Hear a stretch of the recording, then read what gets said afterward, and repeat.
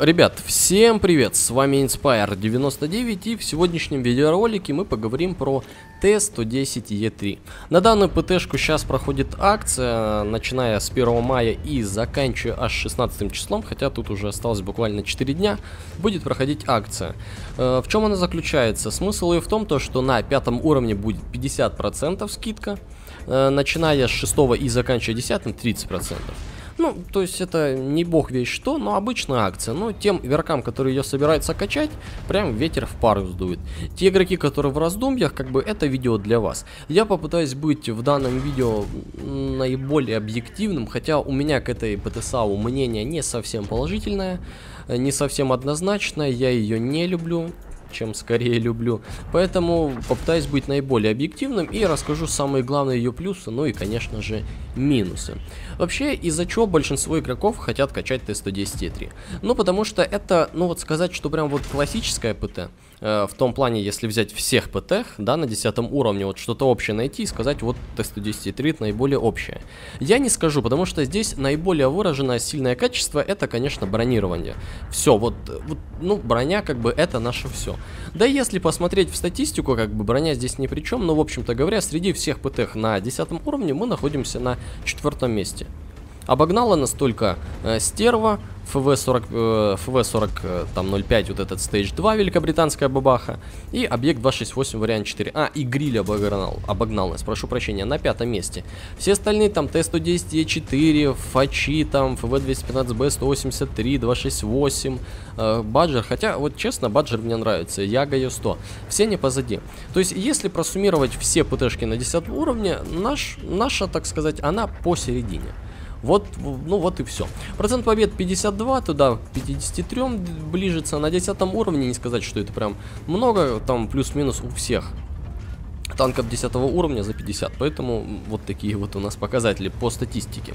Из сильных качеств я уже выделил, конечно, это наша броня, но и в ней есть слабые зоны. Это нижний бронелист, конечно же, который пробивается.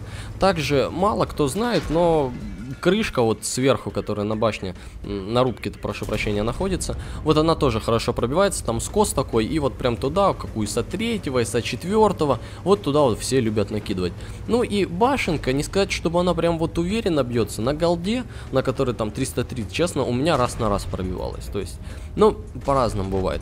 То есть Т-110-3 в действительности, да, обладает очень грозной броней, которая на дальних расстояниях, если вы спрячете хотя бы свою там свою нижнюю половину, так сказать, туловища, ну не туловище, а нижнюю часть танка, то есть нижний бронелист скройте на более-менее каком-то расстоянии, среднем или дальнем. Вот там Е3, да, вот в особенности прям очень может танчить на расстоянии, практически стрелять в него что голдой, что основными снарядами, ну, бессмысленно, если э, только не в нижний бронелист.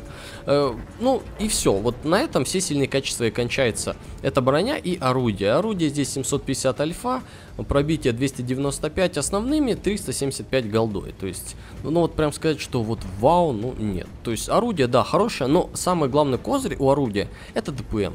Почти 2700. Перезарядка здесь, если поставить нужное оборудование, как по мне, это досылатель, это усиленные приводы наводки, и вот здесь есть несколько вариантов. Е3, он часто подвергается, так сказать, арт-обстрелу, то есть арта часто кидает. Э, кто вас, кто, по-моему, еще любит кидать? Танки, которые играют на фугасах. Поэтому сюда даже есть такой вариант поставить как противосколочный подбой. И он, мне кажется, наиболее даже перспективным, чем поставить сюда, допустим, рога.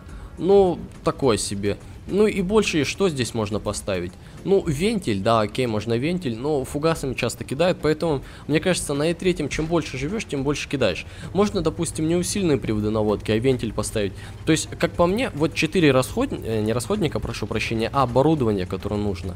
Это досылатель, это усиленные приводы наводки, это противосколочный подбой и это вентиль. Вот с этим как-то вам нужно крутиться. Хотя противосколочный подбой его редко используют, но так как постоянно, постоянно арта кидает, постоянно фугасы, поэтому, ну, как бы он лишним уж точно не будет. И, как я уже сказал, если правильно все поставить, у вас КД будет 13,5 секунд. То есть, если вы поедете с тяжами, то время, когда они вам там будут по 490 выписывать, пускай 560, вы будете им 700 на 50, 750 плюху давать. Соответственно, ну как бы в размен, не факт, что они вас будут всегда э, пробивать, но если честно, Т-110Е3 это штурмовая ПТ, как бы смешно это не звучало, э, это медленный штурм. Не нужно стоять там в кустах, хотя есть различные карты, на которых Е3 может тоже поиграть, но в плане вот основного геймплея, мне кажется, вот я сколько играл, мне Е3 больше подходил, когда едешь с тяжами воевать. На банане, допустим, где-нибудь на Энске, там в городе воевать, все. Стоять там, допустим, на Малиновке в кустах, это бессмысленно. Вообще Малиновка, как по мне, сейчас одна из самых худших карт, потому что раньше хоть там на центре какой-то свет давали и все, и обстрел шел.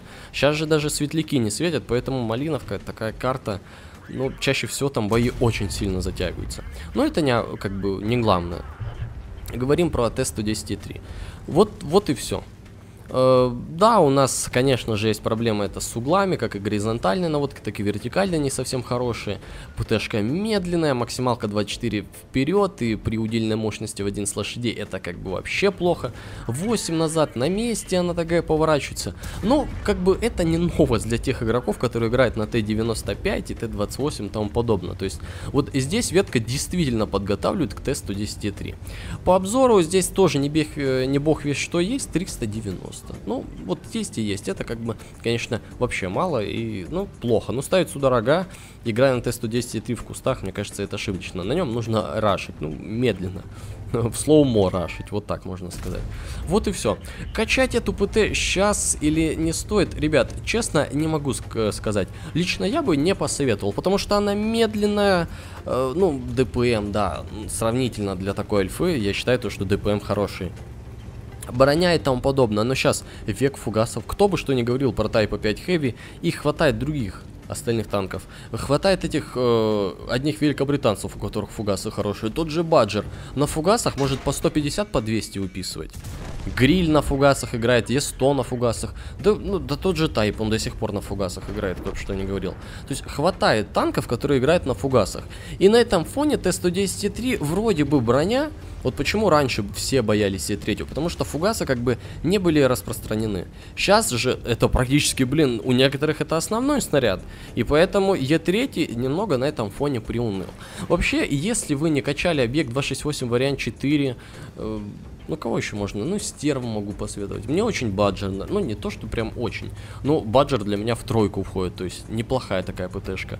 Е3 вот туда, вот ближе к концу, седьмое, восьмое место. Хотя ПТшка в некоторых рука руках, конечно, показывает очень хорошие э, показатели. Также она очень э, неприятна иногда в рандоме, когда опытный игрок на ней выкатывается, он тебе дает, и все, и ты его не пробиваешь. То есть, ну, такой про противный противник, вот так вот можно сказать вот, вот краткий обзор, э, что я бы хотел сказать про Т-110.3. ПТшка вот средняя, то есть есть и есть, есть какой-то баланс, вот, вот она у нас в игре. Вот, вот, вот так вот, короче, вот и все.